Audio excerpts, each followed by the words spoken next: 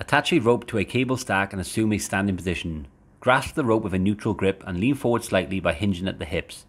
Keep the elbow slightly flexed and initiate the movement by depressing the shoulder blades and extending the shoulders. Pull the rope toward your thigh until the lats are fully contracted and then slowly lower, under control, back to the starting position.